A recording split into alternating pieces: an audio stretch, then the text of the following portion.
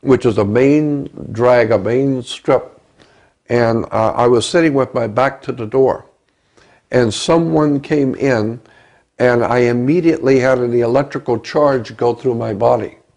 It's bad enough being shocked by, a, by a, the wall plug, but if you don't know it's coming, it's even worse. And I was sitting at the table talking, and all of a sudden, somebody came in, and an electrical shock went through me, and I knocked the stuff on the table. I knocked water and stuff on, on the table, and I jumped up, and I, I, involuntarily, I just jumped up, and something told me, run quick, you're in trouble, you're going to die, run quick and I ran out the back door of the restaurant, ran across the restaurant, left my wife and my friends, and ran across the, the, the, the, the restaurant, ran out the back door, and the voice said, Run quick, you're in trouble. Go across the street to the hotel. And I screamed, I remember yelling, I can't go across the street. It's a main, you know, there's, there's traffic out there. And it said, Run. There will be no traffic, run. And so I ran out into the street involuntarily. I wasn't even, I was not making a conscious decision to do any of this. It was being foisted on me. And I ran across the street, and as it so happened, there was no traffic for that little stretch. I ran out, and it said, Go out around the hotel. The voice said, Run quick to the hotel. And I ran around the hotel, and it said, All right, you're safe now. Now you're safe. And I sat down, my heart was pounding, and I kept thinking, what did I just do? And how am I going to explain this to my wife and my friends? What I just did involuntarily. I don't know what happened. That happened to me twice. The second time was a few months later in Los Angeles. I was on the corner of Fairfax and Wilshire Boulevard in a little coffee shop called Johnny's uh, Hamburger Stand. It's a little restaurant. I was sitting at the counter and I noticed peripheral vision. I didn't look over to see them, but peripheral vision, I saw two guys walk in. And as I walked in, immediately an electrical shock hit me. I almost fell out. I was at the counter. And the voice said, Get out quick, you're in trouble, run. And so I grabbed a bunch of money, threw it on the counter, and tripped, trying to get out of the, out of the chair on the, on the counter. I got up and I hit the side door and I ran north on Fairfax. And the voice kept saying, Run, your life is in danger, run quick. And I ran about two or three blocks until I was just about out of breath. And then the voice said, All right, you're safe now. You're safe now. Sit down. And I sat down, my heart was pounding again. And it was involuntary. I didn't make a conscious choice to run. I just I just started running. And the voice was talking, was yelling to me. It was actually like a yell move quick, your life is in danger. So it happened twice to me. I have no idea what that all means. It just I'm just telling you what happened. Okay, so so you are are positing the fact that there is a symbol, that in the symbol is basically um, uh, telling the world of a new world order and and the return or the the, the basically uh, a son taking control yeah. and that this is happening sometime in the near future. Yeah. And I'm assuming you think around 2012. Is that correct? Yeah, that's what I think. Okay. And then you're talking also about um, really reptilians and, and an agenda, which yeah. is not quite clear, but there's something going on with that's that. Right. Mm-hmm. So, what I'm now asking you is whether or not that so called king is reptilian. Well, I don't know. And what I would say to an audience that's watching this, I've said it too many times before, but I think it bears saying again. I'm not the world's foremost authority on anything. I'm just telling you what I have seen with my own eyes, what, what has happened to me in my life.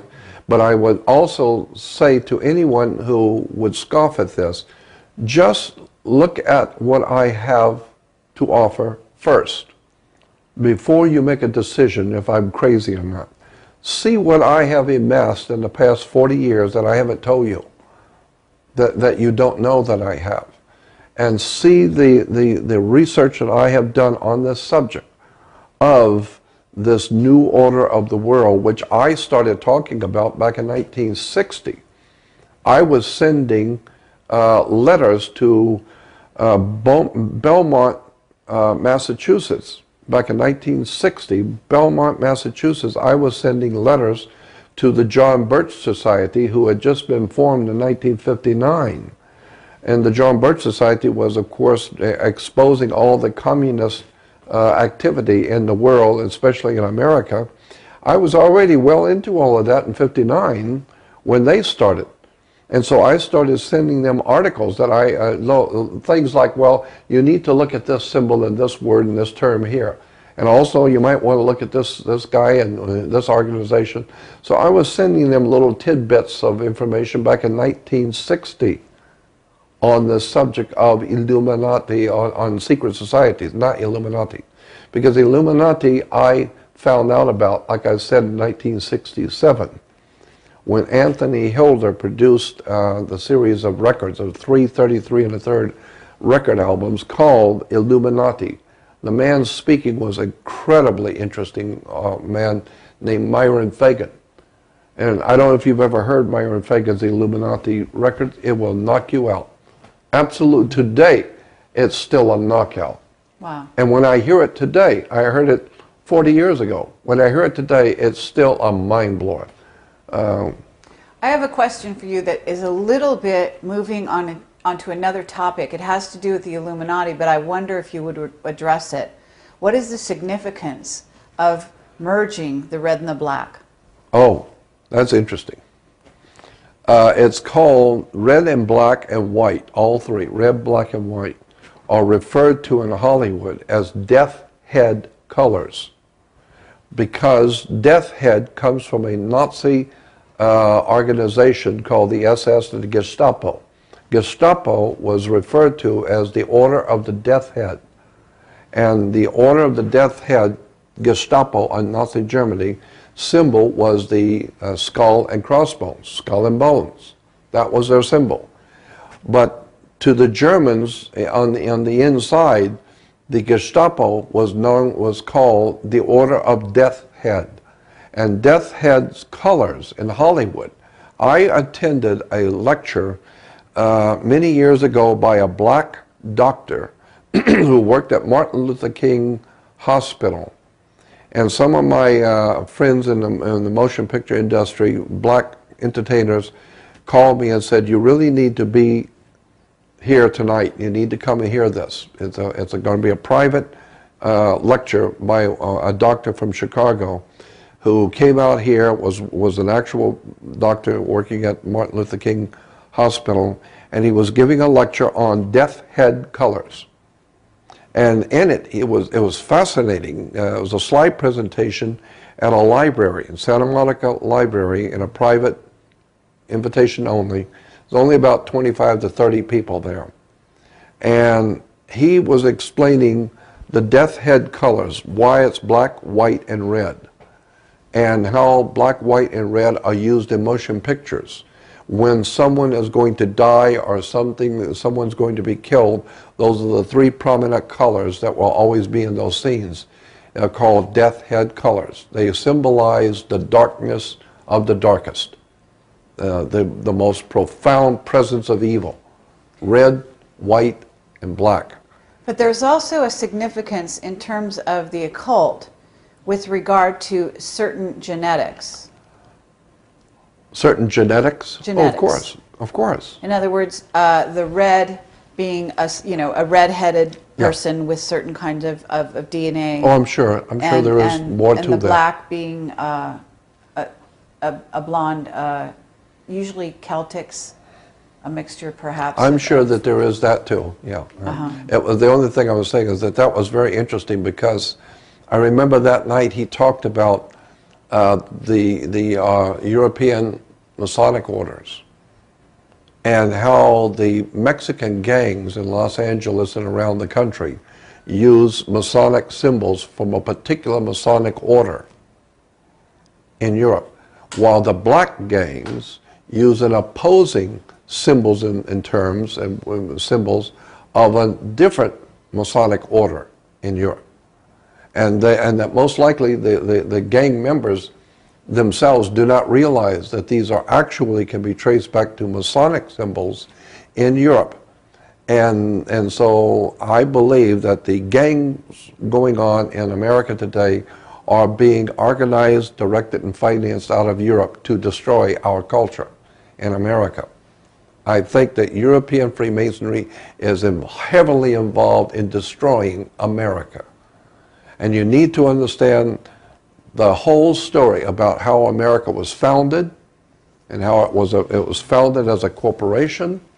It's a privately owned corporation. We can you know, talk about that for days on end. Um, and this is just my opinion, one man's opinion. But I'm going to give you my opinion as to the bottom line on the world today and the stuff that's going on on the earth today. Uh, what we call Illuminati was a, originally uh, a term which is given to us uh, in Spain to um, a religious order in Spain that later on were amalgamated into what we call Jesuits. So the Jesuits are truly Illuminati themselves. Um, And the Vatican, and, and you go well, that was that what I was going well. to say. Yes, I believe that one of the most evil organizations that exist on the earth today, and you'd have to have spent all the years with me in libraries and research societies and traveling around the world and talking to other writers, authors, lecturers, and teachers, and collecting this stuff over a period of 45 to 48 years to understand what I'm telling you. But I believe today the most serious evil organization on the face of the earth is the Vatican. That's my personal opinion. I think if, if the Vatican was done away with off the face of the earth, there would be a shout of liberation heard round the world. because the Vatican, in my opinion, is the, is the bulwark of this dark thing that's happening on the earth. So when you talk about Illuminati, when you talk about the really dark criminal stuff that's going on in the earth, you're talking the Vatican. You're talking the Knights of Malta, which gave us the six men who founded the CIA in America, were all Catholics, members of the Knights of Malta.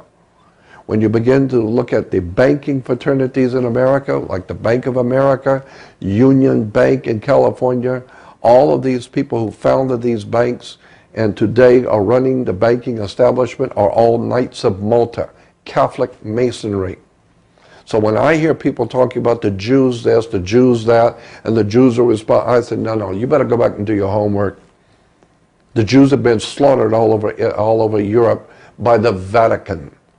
You need to remember that for at least 2,300 years, Rome has dominated Europe under the Caesars of Rome, and in the fourth century, late fourth century, the Vatican comes into, into being, and the Vatican dominates all of Europe. All the heads of state, all the princes and kings and rulers, all the kings and rulers in Europe rule by the divine right. It's called the divine right of kings. What are you talking about? Who represents divine to give the king the right? The Pope. The Pope appoints certain families to be over the French. The Pope appoints certain people to be over the Germans and over the British. And so by divine right. Why? Because the Pope represents God. And the Pope says that this family is holy and that they should rule. And therefore, they could now say they rule by divine right. And the whole idea of divine goes back to the chalice, you know, and the, the Holy Grail. And in the Catholic Mass, you have the, the priest breaking the bread and then pouring the wine. Well, wine is made from grapes, and wine is red. So it's a red grape wine represents the blood of, of the atonement blood. It's a blood sacrifice. But where does the blood, I mean, where does the wine come from? It comes from grapes. And grapes grow on divine. And that's where we get the concept of the word divine, because it comes from, grapes come from divine. So that's where we get the word divine. And once you begin to realize how the Vatican has, for over 2,300 years, Rome has dominated Europe, and in 1,600 years, the Vatican has dominated Europe. and Europe for 2,300 years has dominated the earth. So if you want to talk about conspiracies and you want to talk about evil, don't talk about Jews. You better talk about the people who would control Europe for over 2,300 years, Caesar of Rome, the Roman Catholic establishment. There's the real story. Now you're getting into mafiosi. Now you're getting into the fraternal orders of Freemasonry out of Europe, Knights of Malta. Now you're getting into the organized crime, Sicily, Corsica, Corsica, and all of the profound drug running, white slavery, murder for hire, Vatican. I mean, even uh, what was his name, the producer of Godfather? Um, what was his name? Uh, Francis Ford Coppola. And Godfather 3. Francis Ford Coppola and Godfather 3, the third one in the series, opens up with Michael Corleone being anointed by the cardinal in New York to be a member of the Knights of Malta in the Catholic Church in New York. What is he telling you? The connection between the Vatican, the Holy Father, there's nothing holy about the Holy Father. There's nothing holy in Israel. Nothing. There's nothing holy in the Vatican. There is nothing holy in Salt Lake City. There's nothing holy in religion, period. It's a way that the masters, whoever these entities are who are controlling the human race, they have set up certain institutions of learning, of education, religion, and government.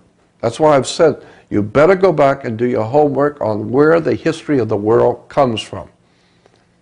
I don't see the world being run by Jews. I see Jews being used, but you will find that even Rothschild, the, the, uh, the, the Rothschild family who we hear so much about, those Jews who were running Europe. No, if you go back and look at the history of the Rothschilds, you will find that Rothschild represented the Vatican. He was dealing for the Vatican. He was a Vatican banker appointed by the Vatican to deal for them so that the Catholic Church would never be involved in all that terrible stuff going on in banking. We'll let the Jew do it. Then, of course, if, if something comes out, well, it's Jewish, obviously. No, no, it's your money that he was handling. So if you really want to nail down the real enemy to America and, and to the earth, I'm telling you, it's only taken me 48 years to get here. I was born and raised Catholic. I mean, I, I, I, my whole family were very Catholic in town. We were the most Catholic family in town. But I know history. And I know that the most criminal organization on the face of the earth, in my humble opinion, uh, I, I don't know that much about it, I've just, I've just been looking at it for 48 years, is the Vatican. As far as I'm concerned, it's the you. worst thing that's ever happened to the world, is what's really going on in the Vatican. And that doesn't even bring up the subject of propaganda due. P2, the Propaganda Due P2 Lodge, that was even mentioned in Godfather 3 twice. There's a Masonic order in, in Europe called Propaganda Due. It's called P2. And it is the, it's connected directly, P2 is connected directly through membership with Opus Dei and the Knights of Malta and the Jesuits. Jesuits, Opus Dei, Knights of Malta Masonic Order, are connected directly to something called Propaganda Due, P2 Lodge of Freemasonry. P2 Lodge of Freemasonry is world famous to people who do research into criminal organizations. And P2 is, is pure, unadulterated, pouring directly out of the trough Nazism. Underworld organizations, drugs, humans, uh, human trafficking, pornography, violence, underworld organization, it's all P2. They are the ones who are promoting the, uh, the uh, right-wing death squads in Central and South America, Mexico, the drug cartels in Colombia, we're talking Catholic, Knights of Malta, drug cartels, Colombia, um, extraordinary vice on a, on, a, on a level which it is hard for most humans to, to recognize, and it's all being orchestrated out of the Holy Father and Rome. This is why I've said so many times there's never going to be a time in the history of this country that America will be saved. I don't believe America can be saved. I truly do not believe that America or the human race. I don't think there's that I'm just it's just my opinion again. But I don't think the human race can be saved. And I don't think America can be saved. Because so many millions of people just love the filth and degeneracy of the world we live in. They love it. They love the Holy Father and all the pomp and glory of them of all the politicians and kings and rulers and, and, and the, the pusillanimous pictures of Bush you know, kissing the ring of the Holy, Holy Father. What does that look like for Nancy Pelosi, Speaker of the House Nancy Pelosi, in full color on the news, bowing down and curtsying and bowing down and kissing the ring of a Roman pontiff? The men who founded our great nation would throw up with this treason, high crimes and treason against the state by these people who call themselves America's leaders. I'm telling you, the Vatican has given us the mafia, drug running, prostitution, terrorism, child, violence, child, child, child porno- pornography, all of it. and the children that are disappearing. Um, are you familiar with Leo Zagami? Say it again. Leo Zagami. Oh yes, yeah. I've Okay, heard. I've and- heard him many And he times. talked about when he's gone back into the fold because they tortured him. But Yeah. when he was out for a moment talking to us, he talked about underneath the Vatican is a huge reptilian base. I don't know. I wasn't there, but it wouldn't surprise me. Right. I don't know, So there is some kind of link up between the agenda of the Illuminati, the Vatican, who's heading all of that up, and this reptilian rollout that we that to get back to where we were talking about, Yeah. and perhaps this this so-called um, figure who is who is taking the throne and the symbolism that you're talking about. Yeah, I, I, I don't know, but it wouldn't surprise me. It wouldn't shock me. I want to say something about Dan Brown's um, movies. Um, Okay. Angels and demons and um, Yeah, the and other one, um, Da Vinci Code. Da Vinci Code. Da Vinci Code, and now this new one. Is it really called the uh, what? We're, what I think it's called the, the hidden symbol or Okay. the secret symbol or something like that. Okay. Which my producer, and my producer friend, and I were going to do a movie, and we were going to call it the hidden secret or the secret uh, symbol. I understand. and now there's uh, Dan Brown comes out. Secret. Uh, as far as I'm concerned, I have no respect whatsoever for Dan Brown. None. I have no respect for the man at all. Because as far as I'm concerned, he's plagiarized and stolen. And I don't like people who steal because I've had it happen to me. He stole from Holy Blood, Holy Grail. Isn't that right? Absolutely. He stole the whole thing. He stole the whole thing. Uh, that whole story, Dan Brown and the Da Vinci Code and all this other angels and demons, all of that he stole. Now, let me tell you what I think. This is just my opinion. I think Dan Brown is a plant. I think he's nothing more than a paid lackey and a player. Uh, I am totally sure that the real Illuminati, whoever these guys are at the top of the world, use people like Dan Brown who don't mind making a lot of money to become a whore. And I think that's all he is. In my humble opinion, I think Dan Brown's just a whore. He's just taking the money and, and uh, sleeping with the enemy. Because I think what he's doing is he is nothing more than presenting what his masters behind the scenes want the public. And so they will spend all kinds of money telling you about how wonderful Dan Brown is and go, oh my God, he's so brilliant and intelligent and all this silly nonsense. And the people who are so used to sucking up to Hollywood will believe that stuff. Me, I've been around Hollywood 44, 48 years. I know this stuff uh, backwards and forwards. I think Dan Brown is nothing more than a front for a very powerful Masonic order in Europe, which is trying to lay the foundations for this Novus Ordo Seclorum, dawn of a new day, sunrise thing that's coming. I think Dan Brown is nothing more than a whore taking the money and making it look like he's the one that came up with this, when in point of fact, no, it was stolen.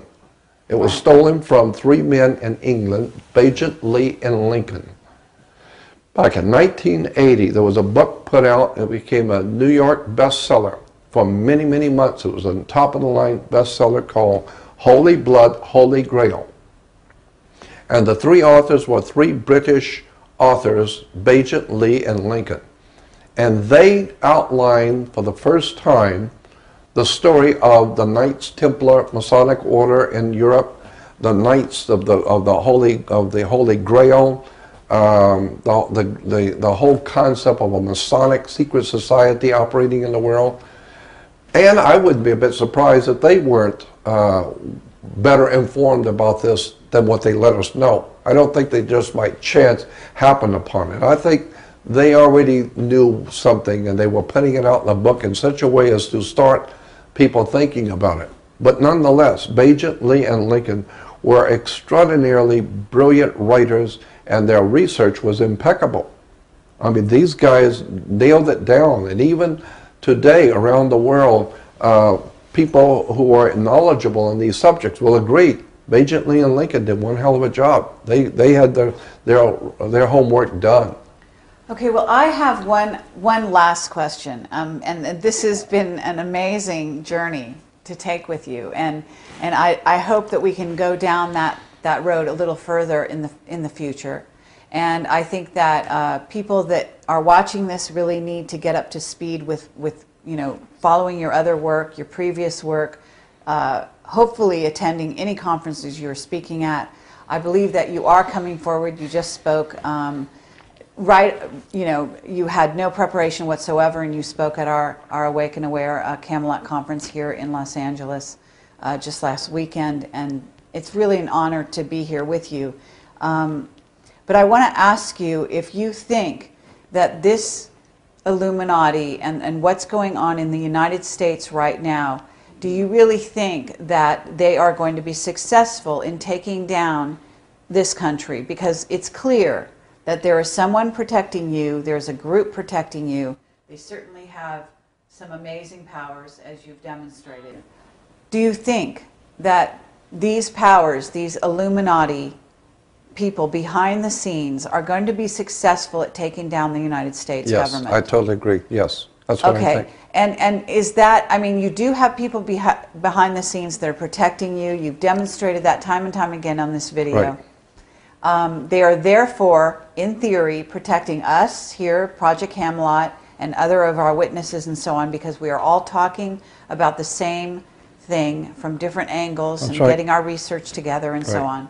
But in essence, what I'm wondering is there are white hats operating, as you know, and as we know, because Yeah. we have been interacting with those people from time to time. Mm-hmm. Do you think it's possible that these people can be stopped? No, You don't? no, I do not. Okay. I categorically say no. I do And- not believe there is any reasonable um, evidence of, of anything of hope for America or for the world. That's my personal opinion. I think that the light at the end of the tunnel is a train coming.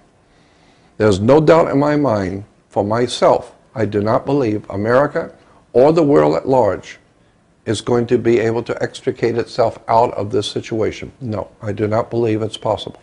And the reason why is because the people are too stupid. They're too ill-informed, ignorant, ill-informed, unread, self-centered, egotistical, materialistic, and downright stupid. And they don't care. Basically speaking, people don't care. Ludwig von Mises, in one of his books, the great uh, European economist Ludwig von Mises said, and that was, and he's right on as far as I'm concerned. He said that in every age and in every country, the people of every nation have always supported a dictator. The people have always supported a dictator, and they always will. There's never been a time in the history of the human race that you can show me where the people of a nation rose up and demanded their freedom, liberty, and justice for all. Not even in America. 97% of the male population in America at the time of the American Revolution did nothing. Only 3% took up arms against the British masters and gave us a modicum of freedom. But happily, that will never happen again. America is finished. Did this father of the girlfriend that you had, when he spoke to you, did he tell you that we're doomed? I mean, why would he call it a UFO and why would he tell you all these things if we were just going down the toilet? Did he tell you that we were doomed? Did he tell you there was a war and that we were going to lose no matter what? No. Do you, okay, let, let me phrase this. Do you realize that you, your mission and your call to arms, which is really coming right on the verge here? I mean, I think that the new release of V is, is sort of a signal to the populace, a last ditch attempt to wake the people up as to what may be coming. And basically, you have a mission, we have a mission, and I'm sorry, you know, Jordan Maxwell, and, and you're a brilliant man, but you were put here for a reason. You have incredible force behind you. The man who spoke to you all those years ago and told you that you would have a journey is certainly behind you now. And I would say that judging from everything that's gone on with Project Camelot, that we have some of the same force behind us. And I have to say that the fact that you're sitting here today and you're talking to us and you're alive and well, and that you're coming forward at this moment and talking about things with, with really no holds barred is indication to me that there is something going on that's more than you, you have dreamed of in your philosophy. So I want to thank you very much. Well, I, I, I want to answer that question. I do not believe America can be saved. I hear I do not believe the human race can be extricated or saved from what is coming. I do not believe that my mission here is to save anybody. I believe what I am doing is to help those who want to know. Those handful of people who are awakening and who sincerely, spiritually understand the dynamics of what's going on and who want to know and want to change and want the protection of the spirit. That's a small modicum of people, a very small niche. I do not believe America can be saved.